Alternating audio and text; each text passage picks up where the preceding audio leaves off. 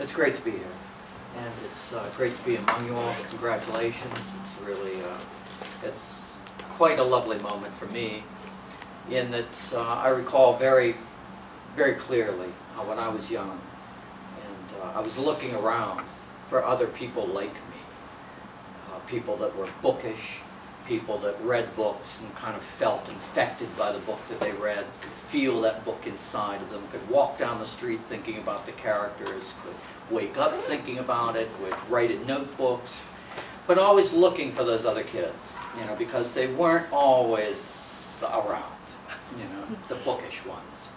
And so uh, when I finally, I had to go to, to college, I went to college, well, some of us do, and uh, I went uh, to get a BFA, a Bachelor of Fine Arts degree in creative writing. And uh, that's where I met all those bookish kids. And it was like, ah, my people are here, you know, there they are, you know. The, you know, and it's so exciting to be around people that really take literature seriously. And don't just look at literature as an object, but also look at it as something that becomes part of your interior life rather than just something that's part of the exterior life. And I think that's what we're always trying to do when we write and when we read. We're always looking for that, that kind of metronomic system where you know, you're looking out, you're looking in. You're looking out, you're looking in. And in that same way, when we write books, like if you just tore a book up, you know, like just ripped it apart, 50% of the book is generally on the interior of the character, their thinking, their imagination, their emotions, and 50% is the outside world, the description of the world and the movements out here. So we're really becoming, as writers, very dimensional people. You know?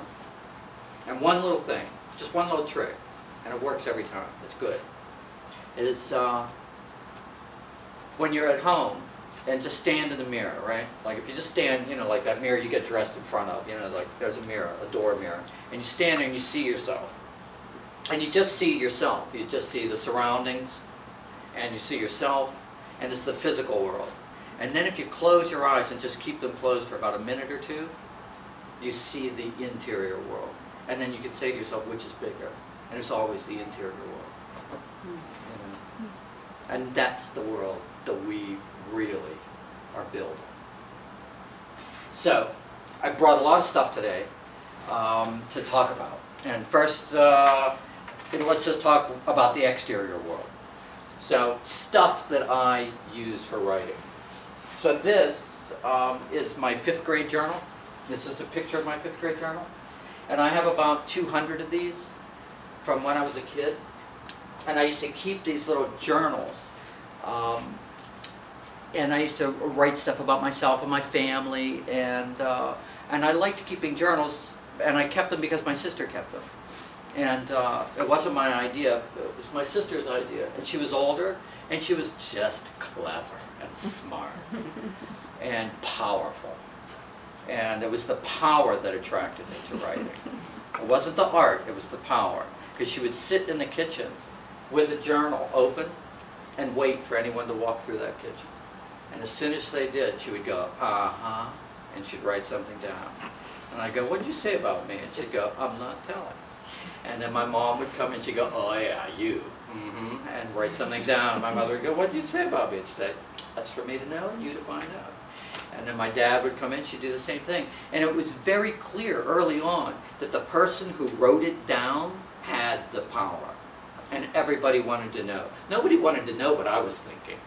But they all wanted to know what she was thinking, because there it was in writing, you know, it's like stamped in there. So, getting journals.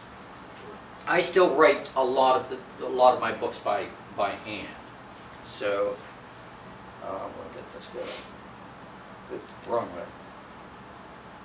So that's kind of what the inside of my my journals look like, and and so I uh, I go to the library every day when I'm writing, I, I go to this library called the Boston Athenaeum, and it's a private subscription library. And uh, they have them here too, they have them in New York. Like I go to the 79th Street Society Library, and that's, we're related to them. So whenever I'm in New York, I go up to 79th Street and I go in that fabulous little library, you tuck away, go to the top floor, nobody knows you're there. So um, I write books out by hand. So I take this, it's a good tool, you always want a good journal. Small is good. These little books, uh, so these will be, this will be, I'm working on a novel now, that'll be the next novel, that'll be the next novel, okay? But while you're working this year, your mind might be two years ahead of you. So you're getting little ideas. They're coming in all the time. All day long, ideas are coming. And what you have to be really good at is accepting every idea. And go, oh yeah, I don't know what that is, but I think it's the beginning of something. I think that's character development. I think that's an ending. I think that's really a, an insightful moment for a character to have. So you need to like be ahead of yourself. Like I'm working on this novel now, but these are the books, they give me like a giant head start for the next novel.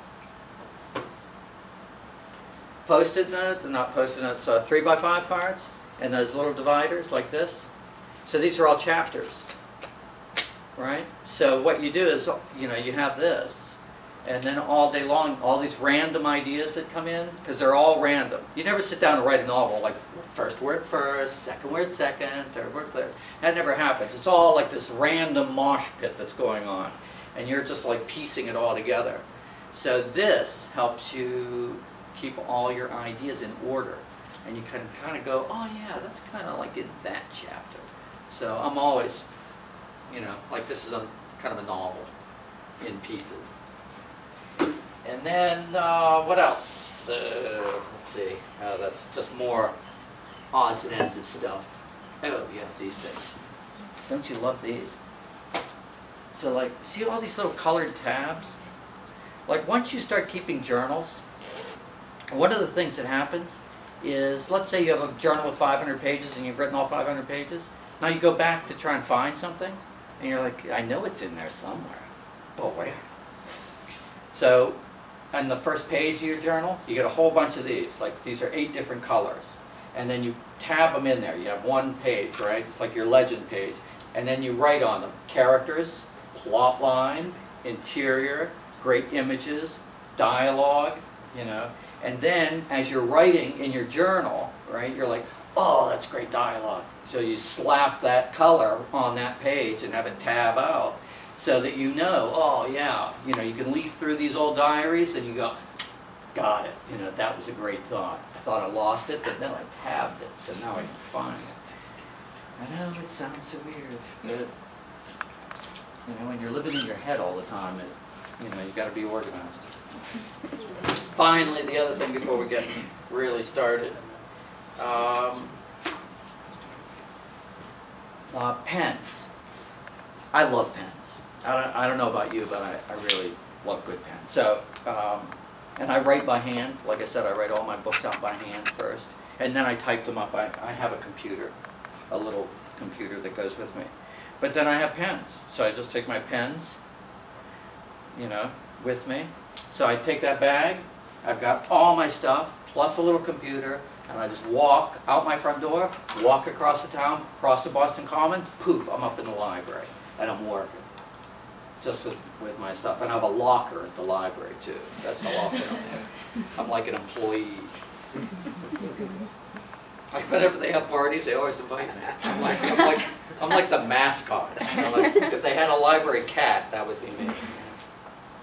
So, just the tools. It's just your basic stuff, and it's nice to have some stuff.